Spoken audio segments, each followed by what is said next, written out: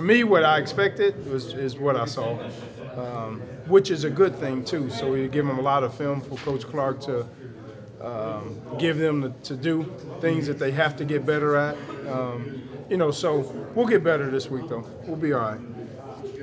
I know that you're being patient, but can you give a quick assessment assessment of Colin? Colin's doing good. I mean, Colin, um, I think every rep he takes, he's getting, you know, better. Um, he's a confident kid. The thing I like about him, the thing I was surprised about him is how athletic he is. He can he can run good enough to make things happen.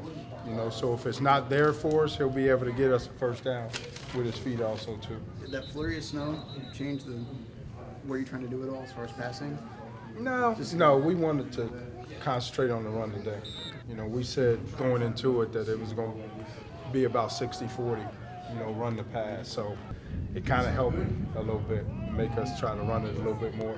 Got to see all four seasons in one. Yeah, one exactly. hour. Yeah, and this is this is normal, you know. Here, I remember when I was back playing, we had a couple of those. We added rain though, a couple times in there, and then it snowed, and then it was sunny. So it was normal. I didn't expect it. Yeah. Didn't expect it to come down like that. I'm from Ohio, so you know it's, it's kind of easy to me. This this like high school playoff weather to me. All, all the Florida boys though, they ain't like it. They ain't really, but I'm, I'm used to it though. But that's those are the things that we talk to our kids about the adversity that you can't control. But it was interesting to see when that started happening. You know, one side of the ball started playing well, and the other one was kind of hanging his head. You know, so those are the things to me that are coachable moments that you look forward. You know, look for that you can help these guys out with in the future. Pinnell's kind of consistently been a playmaker. He's been good. spring, right? You know, um, those guys are coming along. I think Rome actually is another kid that's coming along back there that's been practicing. What'd you see on the interception? Uh, oh, he was looking at me the whole way. I knew it was coming the whole time. Like actually, he looked at me probably like three times while he was calling the cadence. So I just kind of slid outside. Kind of, I kind of knew what he was going to do. So as soon as he hiked the ball, I just jumped the route, and I knew right when I caught it, I was going to the house. How are you feeling overall with your offense? I mean, didn't look like anybody necessarily ran the ball. And No. well, I think we got a long way to go. I think we got a long way to go with our attitude. I think we got a long way to go with who we are going to be. And that's what we keep challenging. What are we going to be? Who are we going to be? And um, we haven't got that identity yet. I know what I want, and we're a long way away from what I want. Yes. And what's that?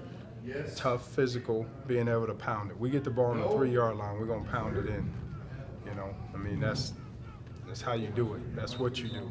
And uh, we don't have that mentality right now, and we need to get it. Anybody else kind of stand out that you noticed today? Um, again, I thought Colin, you know, did some good things. Um, again, when you make big plays on defense, and you know, then it stands out. But um, I just like the energy on defense. I mean, there's a lot of more energy, but again, when you make plays, that energy, you know, starts to happen. But good teams don't have to wait until something happens to have that energy. And, and that's what I'm talking about, what we have to continue to get to. We don't have to, you know, you create those things. You can't wait for a good play to happen for you to now want to play.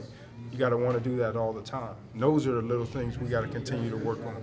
Talk about Hank, giving him a raise. You know, it's awesome. Um, you know, Hank's been around here for forever. Uh, you can see the respect that the kids, you know, have for him with, with the applause that they gave him. And, and, you know, when you have guys like that with their dedication and commitment, it doesn't matter. You know, we got fair weather people, but he is true and true a golden flash. Um, and like I said, it ain't just football. And he's at every event supporting our student athletes to the T.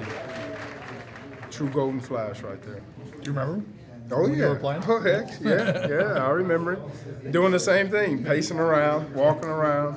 Um, so he was one of the first persons that I saw that I recognized. I think when I went to one of the basketball games, I saw him.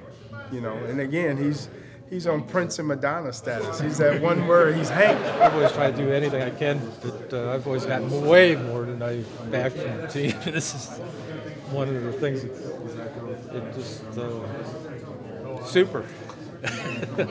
Hard to say in words. I really do appreciate it. Uh, really a surprise.